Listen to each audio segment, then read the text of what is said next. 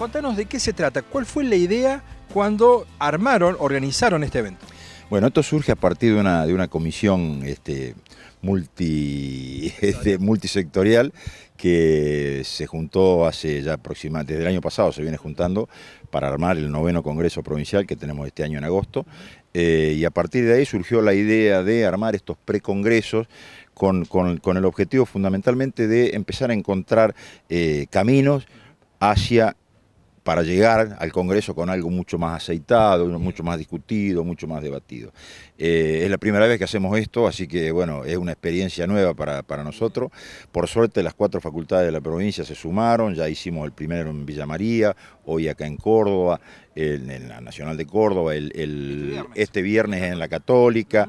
Eh, tratamos de, de, llevar, digamos, las tres, las tres aristas que creemos nosotros que tienen que estar presentes en cada una de las jornadas, que es la pata gremial, estratégica, la parte, la parte institucional y la parte técnica. ¿eh? Lo técnico tiene que estar presente también porque, digamos, eh, los, ingenieros agrónomos tenemos una, afición muy particular por las cuestiones técnicas, pero junto con eso también tiene que estar la otra patita, digamos, que es la pata gremial, este, que, generalmente somos bastante reacios a tocarla. Bueno, esto en base a la experiencia que venimos recolectando de, la participación en el colegio, nos llevó a justamente tratar de, con antelación al Congreso, involucrar a más actores. Y en esto obviamente se destacan por mucho las facultades de ciencias agropecuarias.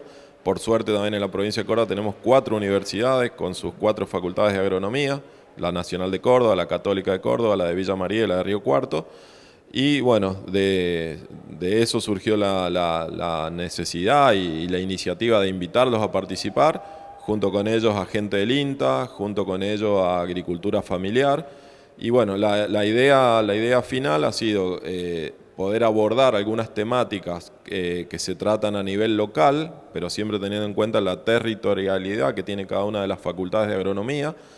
Eh, y a posteriori algo de lo que el gobierno provincial de Córdoba está queriendo implementar en cuanto a ley de agroquímicos, en cuanto a leyes ambientales, ley de bosque. Eh, los invitamos también a la gente del ministerio para que participe y pueda, pueda comentarnos un poco en qué dirección van apuntadas sus políticas.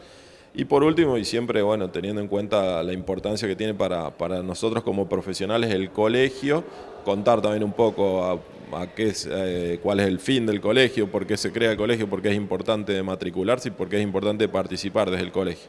Así que bueno, esa ha sido la idea, se los ha invitado, por suerte hemos tenido muy buena recepción y hoy estamos aquí en la Universidad Nacional de Córdoba, en la Facultad de Ciencias Agropecuarias, ya con el segundo precongreso, el primero se hizo en Villa María y bueno, eh, en unos días está el de la Católica y a posteriori y por último el de Río Cuarto.